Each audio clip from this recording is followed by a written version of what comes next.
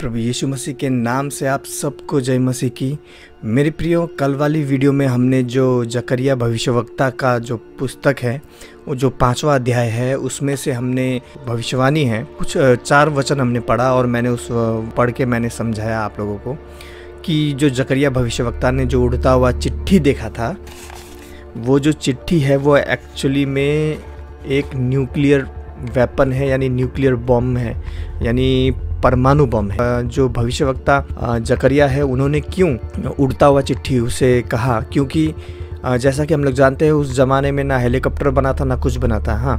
तो अभी पांचवा वचन से मैंने कहा था कि पार्ट टू में बताऊँगा, क्योंकि वो वीडियो वैसे लंबा हो गया था, ग्यारह मिनट का हो गया था। तो आज हम पांचवे वचन से मैं आपको समझाऊँगा वो वचन कि जो जकरिया भविष्यवक्ता है, उन्होंने जो एक टोकरी देखा और एक टोकरी में एक औरत बैठा हुआ देखा और वो ऐसा उड़ता हुआ जा रहा था वो था क्या एक्चुअली में? और हाँ अगर आप लोगों ने वो वीडियो नहीं देखा है पार्ट वन तो प्लीज़ वो पार्ट वन पहले देखें। आपको वो वीडियो नीचे डिस्क्रिप्शन में मिल जाएगा उसका लिंक ओके तभी आप ये समझ पाएँगे। तो चलिए आज पाँचवा वचन से पढ़ते हैं और हो सकता है आपको कल वाली वीडियो में भी लगा हो और आज भी लगा ऐसा लगे कि मेरा एनर्जी थोड़ा कम है।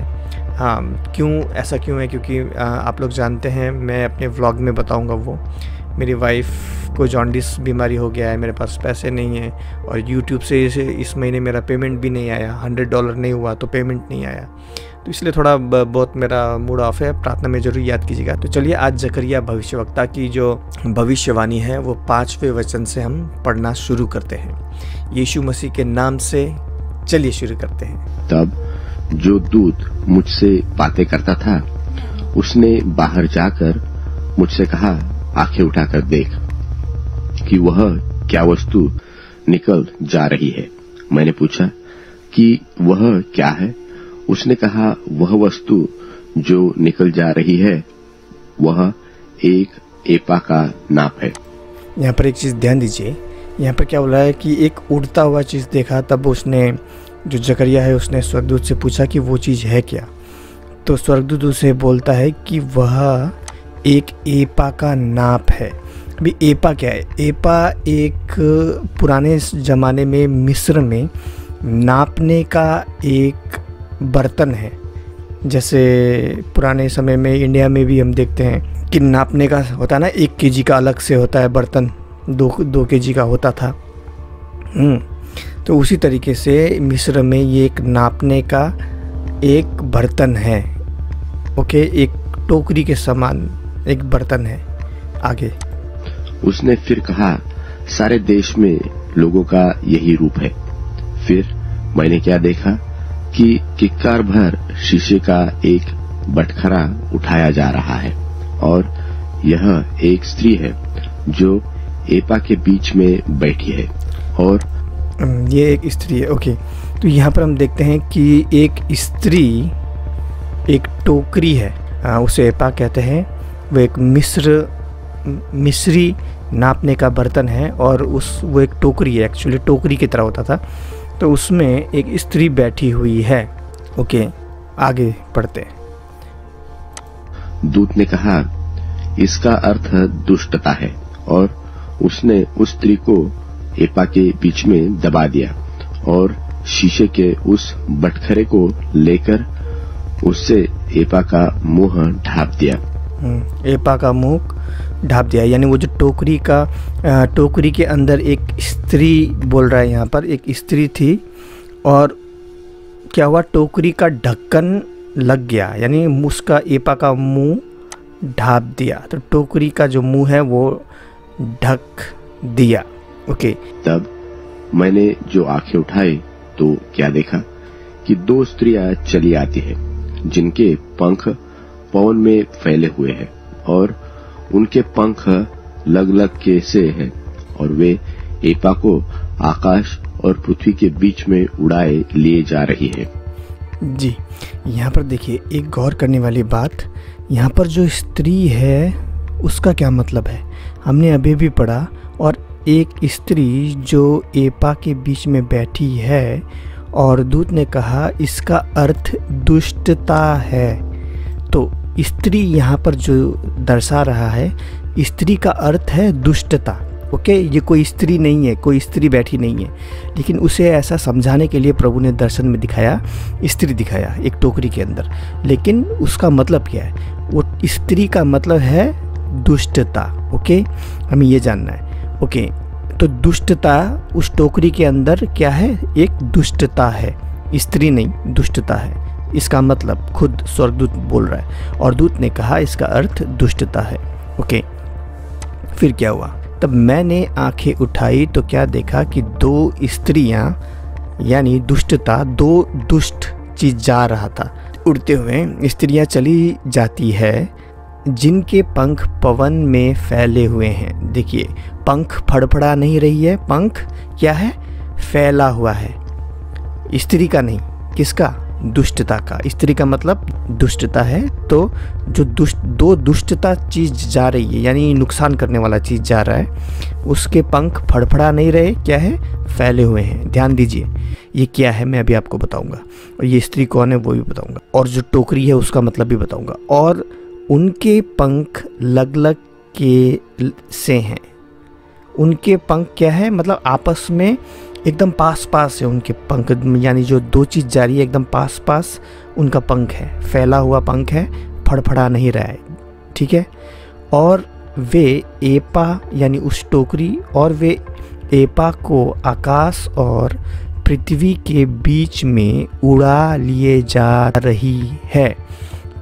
ओके तो वो जो पंख वाला जो दो चीज़ दुष्टता जा रहा है वो एपा को, उस टोकरी को लेते हुए जा रहा है और आकाश और पृथ्वी के बीच में, यानी आपका एटमॉस्फेयर में ऊपर ऊपर का एटमॉस्फेयर मीजोस क्या बोलते थे, पहले स्कूल में पढ़ा था एटमॉस्फेयर मीसोस्फेयर ट्राइनोस्फेयर स्टेट्रोस्फेयर और क्या क्या वो होता है, बहुत सारे लेयर्स होते हैं एटमॉस्फेयर में एटमॉस्फेयर से, तभी भूल भी गया मैं, शायद गलत भी बोल सक, बोल रहा हूँ, हो सकता है स्पेलिंग बोलने में मिस्टेक हुआ होगा, लेकिन फिर भी, वो ध्यान दीजिए, दो चीज़ जो जिनके पंख फैला, फैले हुए हैं, वो लेके जा रहा है ऊपर आकाश और पृथ्वी के बीच में। किसको?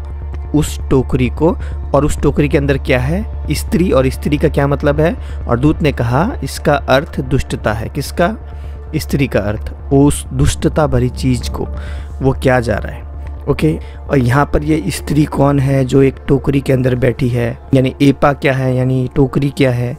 और उसमें जो ढक्कन लगता है, टोकरी का ढक्कन, वो सब क्या है, यही हम जानेंगे इस वीडियो में। तो जैसे कि हम लोग जानते हैं कि स्त्री का मतलब है, जैसे कि स्वर्गदूत ने खुद कहा कि स्त्री का अर्थ है दुष्टता, यानी नुकसान पहुँचाने वाला चीज़। स्त्री को केवल एक चिन्ह के रूप में इस्तेमाल किया गया है, ओके? स्त्री का मतलब क्या है? स्त्री का मतलब है न्यूक्लियर बम, यानी परमाणु बम। जिसे एटम बम भी कहा जाता है। तो जो बास्केट यहाँ पर दिखाया गया है, यानी एपा, यानी जो बास्केट है, जो टोकरी है, वो टोकरी क्या है? टोकरी के लिए यहाँ पर मेरे पास दो विकल्प हैं, दो ऑप्शन हैं जो मुझे लगे हैं कि ये हो सकता है। पहला अगर आपने कभी न्यूक्लियर साइलो देखा होगा, न्यूक्लियर साइलो मतलब जहाँ पर एटम बम को यानी परमाणु बम को रखा जाता है, अगर आप इसके आसपास ध्यान से देखो तो आप देखोगे कि ये बास्केट की तरह दिख रहा है ना? ये जो डिज़ाइन है आसपास, ये बास्केट की तरह दिख रहा है। और एक बात ध्यान दीजिए, जैसा कि आप में से बहुत लोग जानते हैं कि जो न्यूक्लियर साइलो होता है उसका जो ढक्कन होता है, वो बहुत विशाल और कुछ इस तरीके का दिखता है। और जैसा कि हमने पढ़ा वचन कि वो जो बास्केट है, वो जिसमें स्त्री है, यानी जिसमें दुष्टता है, उसको ढक्कन लगा दिया जाता है। ओके तो यहाँ पर न्यूक्लियर साइलो का भी बिल्कुल वैसा ही ढक्कन होता है। और ये जो दो स्त्रियाँ जिनके पंख फड़फड़ाते नहीं हैं और सीधे रहते हैं, ये क्या है फिर? ये दो स्त्री जो पंख फड़फड़ाती नहीं है। देखिए बार बार मैं ये क्यों बोल रहा हूँ कि वो पंख फड़फड़ाती नहीं है? क्योंकि वचन में बोला है कि उनके पंख सीधे थे और आपस में एकदम पास पास में थे। तो ये क्या है? ये है न्यूक्लियर बॉम्ब ले जा सकने वाला जेट फाइटर।